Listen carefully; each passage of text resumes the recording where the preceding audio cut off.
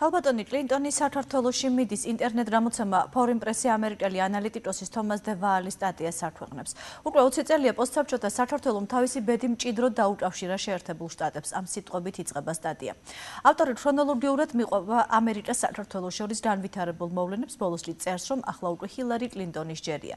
მან უნდა ჩამოიტანოს საქართველოში ვაშინგტონის ბოლო გზავნილი, რომლის ელემენტები ასეთია: უნდა დაფასდეს მთავრობის მიერ ჩატარებული პოზიტიური რეფორმები, საარტაშვილს უნდა შეახსენოს განაცხადა რომ საქართველოს მეტი რამა ვიდრე მხოლოდ საარტაშვილი. ხაზი უნდა გაესვას წინასაარჩევნო პერიოდში თანაბარი პირობების შექმნის აუცილებლობას. ქართულმა ხალხმა უნდა მოისმინოს ახალი გზავნილი შეერთებული შტატებიდან ცხადი და გაუფილტრავი.